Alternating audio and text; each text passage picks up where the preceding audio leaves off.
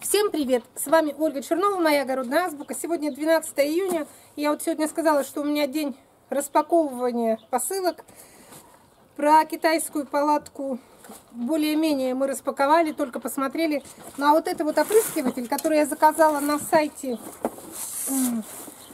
дней 10 назад, я вам говорила, что после того, как вот этими всякими помповыми ручными я опрыскивала, очень устала, мне многие советовали аккумуляторный. И я вот выбрала вот этот чемпион. Про него уже были, ну, вытащить не могу. Сейчас камеру сниму, вытащу его и покажу, из чего он состоит, а потом соберем, покажу его в работе. Ну, как большинство всех опрыскивателей, они все состоят почти из одного и того же. Вот это вот антенна, которая можно увеличиваться все. Потом сам корпус.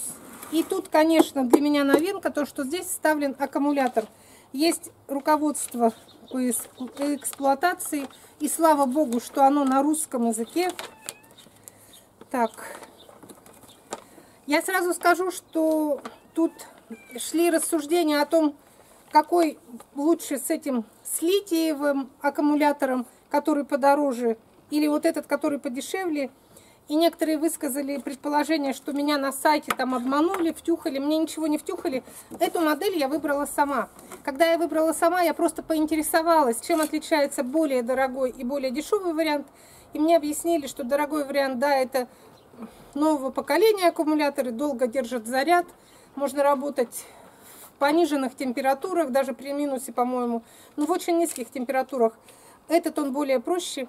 Но я сделала выбор сама, потому что долго держать заряд мне не нужно. Всего несколько обработок за сезон я делаю. Ну, три от силы, ну, четыре. И тот, кто постоянно, например, может быть, с утра до вечера ходит и обрабатывает свои поля. У меня 6 соток, у меня хватит, мне кажется, этого. Ну и тут, конечно, вопрос цены, разница большая, в две с лишним тысячи.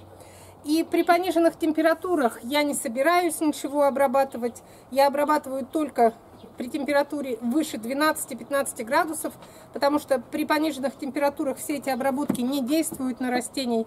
Даже не, невозможно ни насекомых убить, ни каких-то от болезней или подкормки сделать. Для использования в саду, огороде, вот такой опрыскиватель, он вполне меня устроит. Но теперь самое главное – подождать, сколько лет он будет хорошо работать. Это, конечно, я могу вам сказать только в 2000 каком-то третьем, в 2023 или в 2025 году.